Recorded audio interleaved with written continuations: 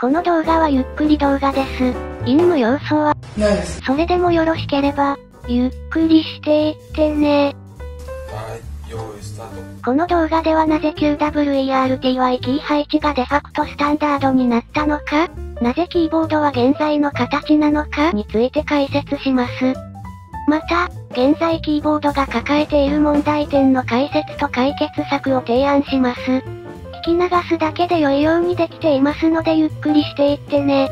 キーボードはコンピュータを使う上で必要不可欠な道具です。しかし、キーボードはデファクトスタンダードの影響を強く受ける商品なので合理性や利便性を追求するには自作するしかありません。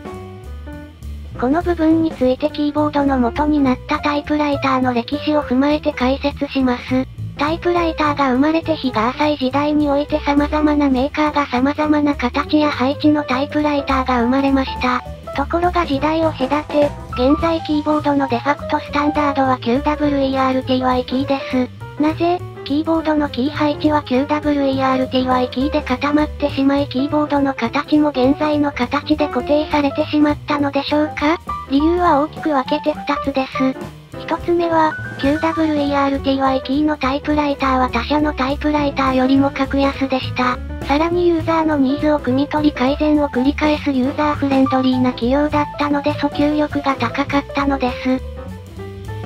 二つ目の理由は、QWERTY タイプライターはタイピストと呼ばれる文字入力代行の人々に広く愛されました。タイピングを代行する企業としては、格安でニーズに日々応えてくれる機材を選ぶのは経営戦略上合理的な判断です。そしてそこで仕事を覚えたタイピストは QWERTY キー配置のタイプライターに慣れているので他の会社に就職しても同じ QWERTY キー入力方式のタイプライターを好みます。こうやってタイプライターを使う人々が合理的理由から QWERTY キー配置のメーカーのタイプライターを選びます。この2つの理由により、QWERTY キー配置のタイプライターはデファクトスタンダード化しました。この一度覚えたらほとんど全ての家電入力で使える利便性によりキーボードは違う方向の可能性をほとんどなくしてしまいました。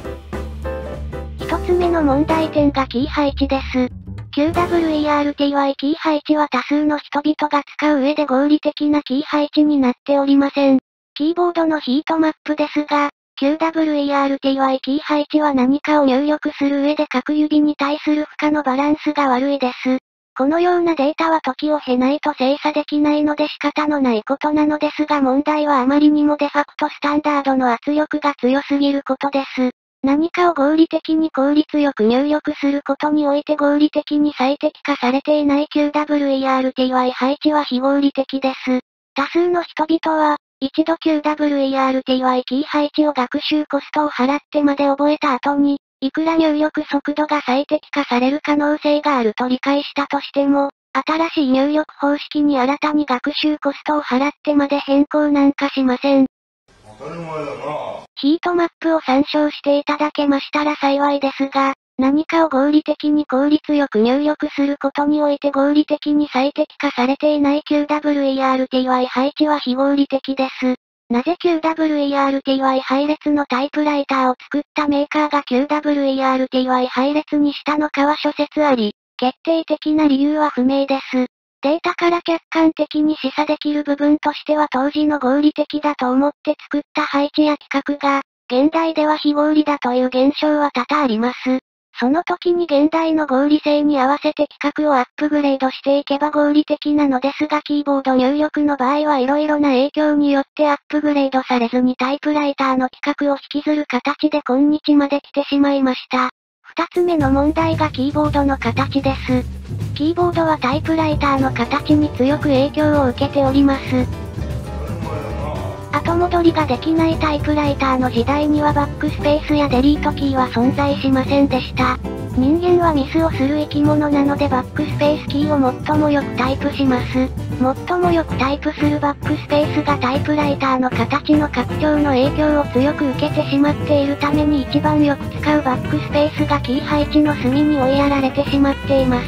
タイプができないことを前提に最適化されたタイプライターと、いくらでもタイプができる現在の入力環境ではバックスペースの使用頻度は大きく変化します。このように、キーボードの形やキー配置が現代の環境に最適化されていないためにキー入力をする多数の人々の生産性を下げていると言えるかもしれません。現代に最適化されたキーボードを使うことで人々の生産性が1時間に2分程度短縮されるとしたら、その浮いた2分間を使って人々は他のことに人々の資源を使うことができます。現代に最適化させたキーボードを開発することで人々の生活の質を改善する手助けがしたいと思っています。前提条件として、これから説明するキーボードの形が最も合理的な形というわけではありません。あくまでも無限に存在する可能性の中から、私が導き出した合理的なキーボードです。その部分を共有できましたら強越至極にございます。キーボードを作成するにあたって、ミニマルである、ブラインドタッチ可能である、高度な柔軟性を維持しつつ臨機応変に対応できる。以上の条件を満たしたキーボードを開発します。縦4列、横12列の格子型のキーボードにしました。いわゆる40キーボード、プランクキーボードと言われるキーボードです。入力効率を考えるとなるべくキーボードを見ずにブラインドタッチできることが望ましいです。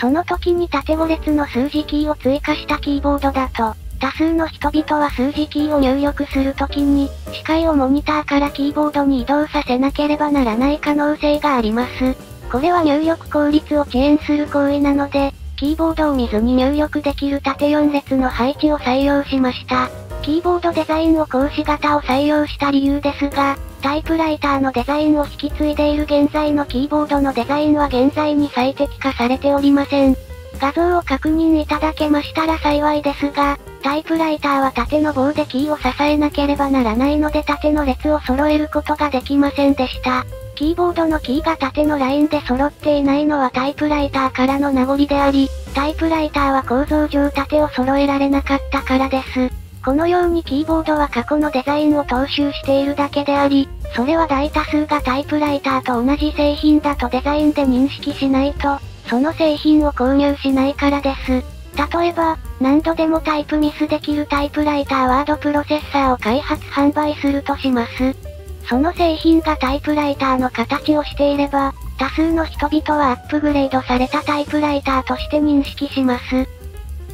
もしもタイプライターのデザインを踏襲していないと大多数はキーボードをキーボードと認識できないのでその製品を購入し得ません。タイプライターを使っている多数の人、もしくはこれからタイプライターを使おうと考えている人がいたとします。その人々の不満がミスタイピングできないことだとして、タイプライターとは違うコンピューターで制御できるワードプロセッサーを販売するとします。この時点で、メカニカルな問題であるキーボードの形をタイプライターのような鍵盤上に配置しなければならないという制約からは構造的に解放されています。ここで、より利便性が高いであろう新しい配置のワードプロセッサーを開発販売したとしても、多数の人々はそれをタイプライターの改善版だとは認識せず全く新しい別の何かだと認識するのです。これは多数の人々が、新しい技術に対する感度や理解度が高くないことに由来します。こうなると、いくらでもミスタイプできるタイプライターが欲しい層や、最新のタイプライターを使いたい層の見込み顧客を失うことになります。なぜならそういった多数の人々は、新しい入力配置のワードプロセッサーをワードプロセッサーとして認識できないからです。これが製品やサービスから合理的変化を奪っている大きな部分であり、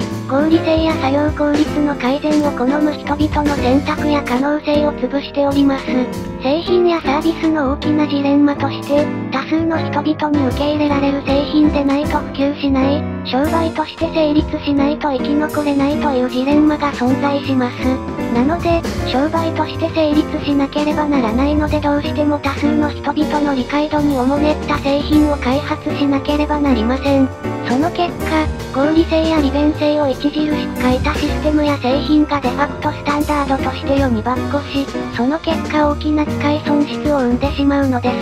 この機械損失とは、労働生産性のことだけを言っているのではありません。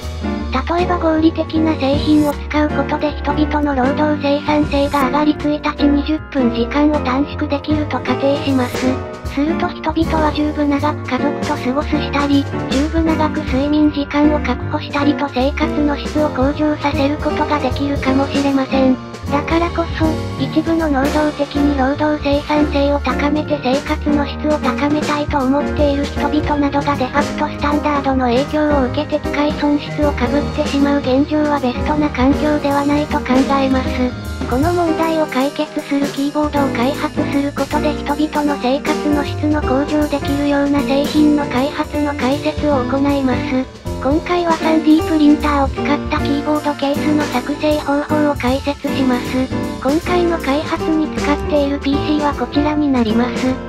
使う機材を同じにすることで再現性が高まるかもしれません。比較化されていないオリジナルのキーボードを作るのは非常に手間と根気がかかります。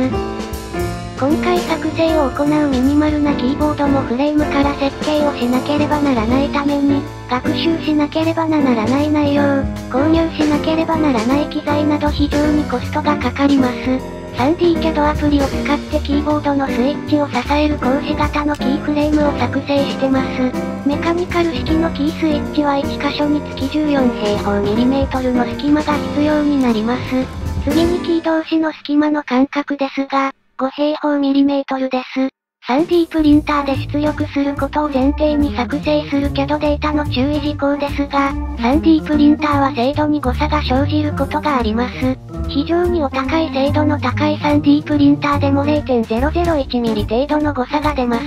お使いの 3D プリンターの誤差を把握する必要があります。今回使用する 3D プリンターの誤差は 0.1mm なのでキースイッチの穴は10を 14.1mm、キー同士の隙間は 5.1mm で作成しております。最後にフレームの厚さですが 2mm です。出来上がったデータを 3D プリンターで出力します。プリントしたプレートです。このミニマルキーボードを製品化し販売したいと考えております。しかしながら、非常に手間や開発コストがかかっております。ある程度の数を販売できるだけのチャンネル登録者数が必要になってきます。フレームの厚さですが 2mm です。生温かいサポート何卒よろしくお願いいたします。以上です。お疲れ様でした。参考になれば幸いです。最後までご視聴。ありがとうございます。この動画は皆様の高評価、チャンネル登録に支えられてできています。皆様の生温かい高評価、チャンネル登録何卒よろしくお願いいたします。次の動画でお会いしましょう。プロトタイプでした。